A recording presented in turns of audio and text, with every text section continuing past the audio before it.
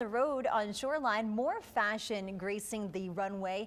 This was the scene at the Art Center tonight as pieces by a South Texas native, now couture fashion designer Nico Lee, celebrated his homecoming show. It was 10 years ago Nico took a chance on a dream of designing high-end fashion, and today his creations have been featured in major magazines, red carpets, and more. Now, you may remember we caught up with Nico as part of our Hispanic Heritage Month coverage in October, when at the time this fashion show was just an idea idea.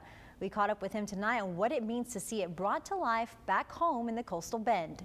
Uh, I got my start just kind of working with trash fabrics in my parents' living room. And we're celebrating a decade later, and we just did New York Fashion Week, we just did Elle.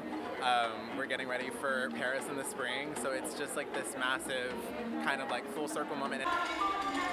Nico Lee's work can be described as Tejano couture. The dresses are inspired by culture, the coastal bend itself, and family. We also have a full interview up from when we met with him in October, along with plenty of video and photos of those beautiful dresses on our YouTube page. So go and check it out. But man, lots of events happening outside on this December 1st. Yeah.